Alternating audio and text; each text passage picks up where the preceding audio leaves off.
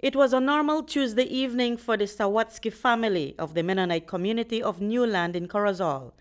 That is, until around 7.30 p.m., 15-year-old Helena Sawatsky was filling a kerosene lantern, accidentally with gasoline, while her mother, 38-year-old Justina Sawatsky, flicked a lighter to light the lantern.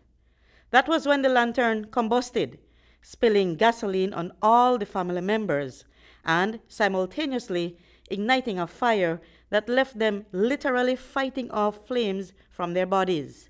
Desperate attempts by the patriarch of the family, 39 year old Henrik Sawatsky, to extinguish his family members who were burning alive was only successful for his wife and his two older children, Helena and Jacob, age 10, who suffered burns to both their hands.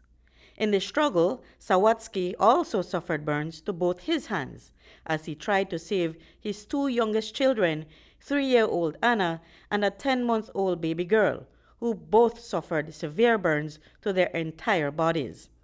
The family sought medical attention at the Northern Regional Hospital, where the infant died. Little Anna was transferred to the Karl Heusner Memorial Hospital, where she too succumbed early this morning. Today, Commissioner of Police Chester Williams confirmed it was human error that happened. They believe that they were putting kerosene in the lamp when in fact it may have been gasoline. And when they, they lighted it, it, um, it blew up, causing injuries to um, the individuals. I think one person passed away. Um, police are still looking at that matter. Fire department is also involved, and then we'll see what the outcome of the fire investigation is going to be. And is there any possibility of a, some type of charge, maybe even negligence? Um, at this time, we cannot say. We need, we need to await the um, report from the fire department, and then we'll see how we go from there.